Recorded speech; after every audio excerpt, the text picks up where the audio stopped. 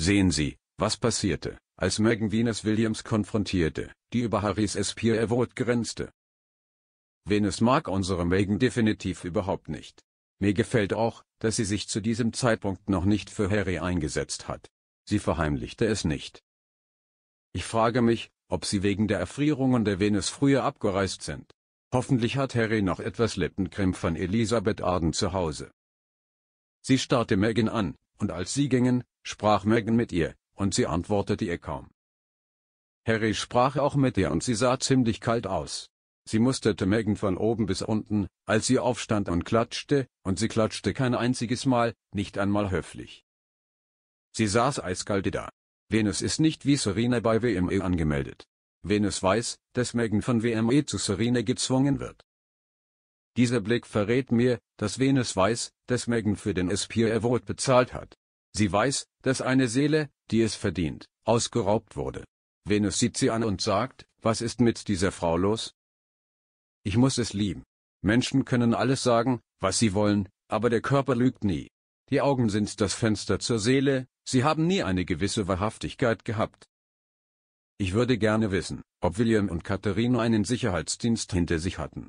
Wann haben die Baus-Superstars Sicherheit im Publikum bei den Oscars? Doch diese beiden Trottel müssen beim SB einen in Reichweite haben.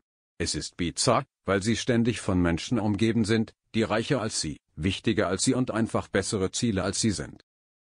Diese Leute brauchen auch kein Sicherheitspersonal, Meghan und Harry aber offenbar schon. Es dient nur dem Aussehen. Venus sah sie beide verächtlich an. Als Harry die Auszeichnung entgegennehmen wollte, verschränkte sie die Arme, lehnte sich von der Kränkung weg und beugte sich so nach vorne, dass sie beide sehen konnte. Sie hatte dieses höhnische Grinsen im Gesicht. Als er aufstand, klatschte sie nicht und beäugte Megan von oben bis unten, und ihr Gesichtsausdruck war urkomisch. Als sie gleich danach gingen, lächelte sie sie nicht einmal an. Selbst als sie mit ihr sprachen, sah sie sie äußerst kalt an. Meghan Markle ist wahrscheinlich die größte wahnhafte Hexe in Hollywood, und ich glaube wirklich, dass jeder sie hasst. Normalerweise bekommen wir einfach keine Beispiele zu sehen. Ich vermute, dass Serena ihre Geschichten und ihre wahren Gefühle erzählt. Schwestern werden immer füreinander einstehen.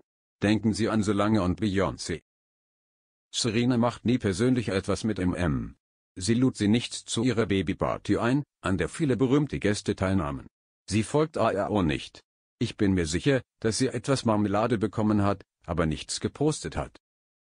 Vielleicht war sie in den ersten Tagen eine Freundin, aber MM, die schrecklich falsche Person, die sie ist, zeigte schließlich ihr wahres Gesicht und Serena verstand die Botschaft.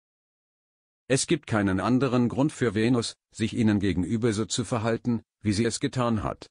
Wer weiß, vielleicht hat MM sogar etwas getan, um Serenas Tochter zu beleidigen, die im Publikum war, und Tanten sind noch beschützerischer als Schwestern. Denken Sie an Safia und Camilla bei der Beerdigung der Königin mit den Kindern. Als sie unter lautem Geschrei den dramatischen und demütig enden Abgang vollzogen, umarmte MM Serenas Ehemann an ihre Tochter. Es sah so aus, als würde die Tochter ihren Arm heben, vielleicht um sie auch zu umarmen, aber MM drehte sich um und begann, sich zu entfernen.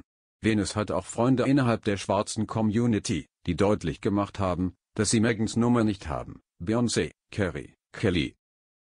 Sehr interessant. Hat sonst noch jemand bemerkt, dass es Markle war, die die Standing Ovations anführte, was das Signal für ihre bezahlten Klingeltöner im Publikum war, sich zu erheben, und dann folgten andere, Ungefähr die Hälfte stand auf, die andere Hälfte nicht. Ich bin seit 30 Jahren in der PR tätig und das ist eine gängige Taktik. Sobald jemand steht, folgen die Menschen wie Schafe. Ich war froh, dass die Hälfte des Publikums nicht stand. Leider hatten die Zuschauer Gelegenheit zu buhen, als Harry aufstand und auf die Bühne ging, aber niemand buhte oder zeigte Unmut. Warum war es so? Weil diese Promis und Sportler glaubten, er hätte Anspruch auf die Auszeichnung? dass sie das Königtum respektieren? Oder lag es daran, dass viele im Publikum die gleiche Politik vertreten? Sie unterstützen ihre eigenen, egal was passiert.